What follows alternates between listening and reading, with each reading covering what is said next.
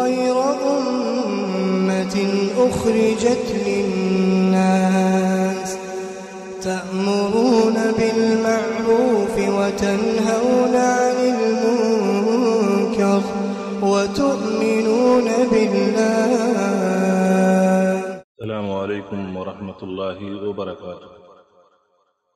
الحمد لله رب العالمين والصلاة والسلام على أشرف الأنبياء والمرسلين نبينا محمد وعلى آله وصحبه أجمعين أما بعد۔ محترم دینی بھائیوں ایک سوال جو ایک سائل نے کیا ہے۔ سوال یہ ہے کہ داڑھی کے کاٹنے اور اس کے چھلنے کا حکم کیا ہے؟ کیوں؟ اس لیے کہ بسا اوقات ایک انسان جو دین کی بہت سی باتوں کو اپناتا ہے اور شریعت کا پابند ہوتا ہے، جب وہ دیکھتا ہے کہ اس کا کوئی دوسرا بھائی جو اس کا دوست ہے، اس کا پڑوسی ہے، اس کا رشتہ دار ہے اور وہ ان چیزوں میں کوتا ہے تو نبی کریم صلی اللہ علیہ وسلم کی حدیث، الدین و النصیحہ، دین خیر خواہی کا نام ہے۔ خیر خواہی کے جذبے سے اپنے اس بھائی کو نصیحت کرنا چاہتا ہے۔ اور انہی کوتاہیوں میں سے کوتاہی کے ہمارے بہت سے بھائی ایسے ہوتے تو داڑھی کلین کرتے ہیں، داڑھی کو چھیلتے ہیں، شیونگ کرتے ہیں۔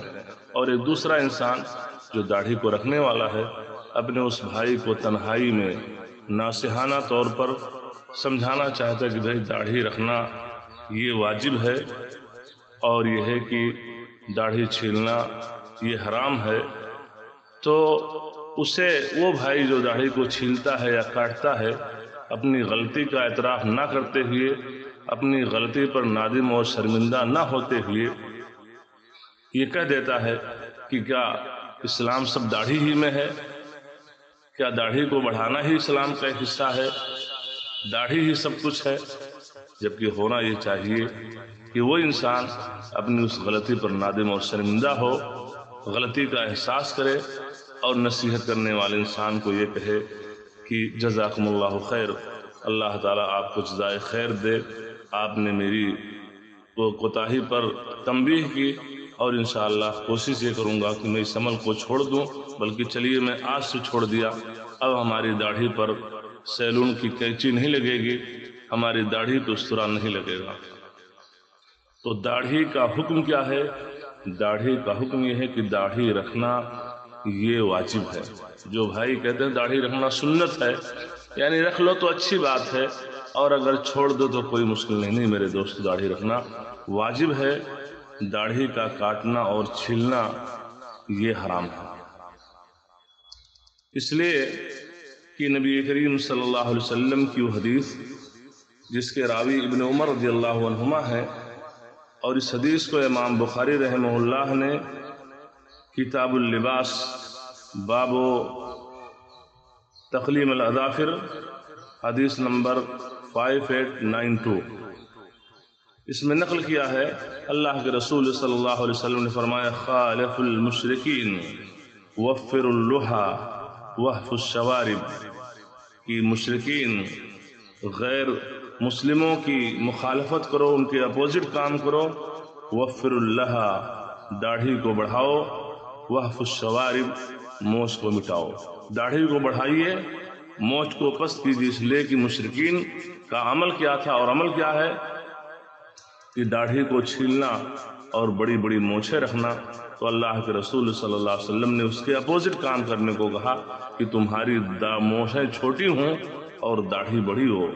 اسی طریقے سے صحیح مسلم کی حدیث، جس کے راوی ابو حرر رضی اللہ تعالیٰ عنہ ہیں، اس حدیث کو امام بخاری رحمہ اللہ نے اپنی، امام مسلم رحمہ اللہ نے صحیح مسلم کے اندر کتاب التحارہ باب خصال الفطرہ، حدیث نمبر 626 میں ذکر کیا ہے۔ اللہ کے رسول صلی اللہ علیہ وسلم فرما کہ جز الشوارب ورخ اللوحا خالف المجوس کی موچ کو کاٹو، داڑھی کو بڑھاؤ اور مجوسیوں کی آگ کی پوجا کرنے والوں کی مخالفت کرو۔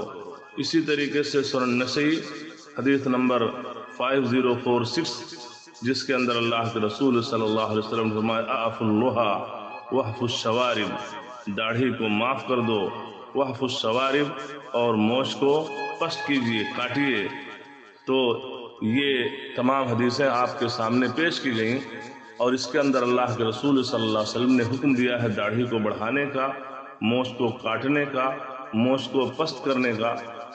اور عربی کا ایک قاعدہ ہے کہ جہاں اللہ کے رسول صلی اللہ علیہ وسلم حکم دیتے ہیں، وہ چیز وجود پہ دلالت کرتی ہے۔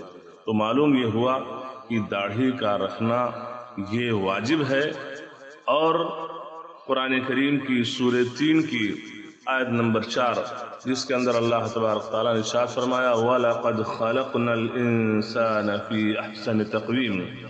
کہ ہم نے انسان کو اچھی صورت میں پیدا کیا ہے۔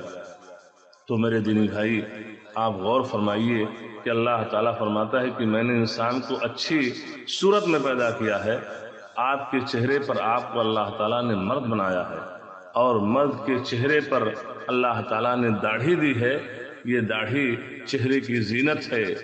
اور جب زینت ہے اور اللہ تعالیٰ نے اس شکل میں پیدا کیا، اس لیے آپ دیکھیے کہ ایک خاتون جس کے چہرے پہ داڑھی کا نہ ہونا موچ اور داڑھی کے بال کا نہ آنا اس کے لیے خوبصورتی ہے، لیکن ایک مرد کے لیے خوبصورتی کیا، اس کے چہرے پر داڑھی اور موچ کے بال کا آنا۔ تو اگر آپ داڑھی کو چھیلتے ہیں، تو ایک طریقے سے آپ اللہ تبارک تعالیٰ پر اعتراض کر رہے ہیں کہ اللہ تعالیٰ تجھے چہرے پہ داڑھی نہیں دینا چاہیے، تو انہیں داڑھی کیوں دی؟ اور یہ چیز کسی مسلمان کے لیے جائز اور درست نہیں ہے۔ أشهد أن لا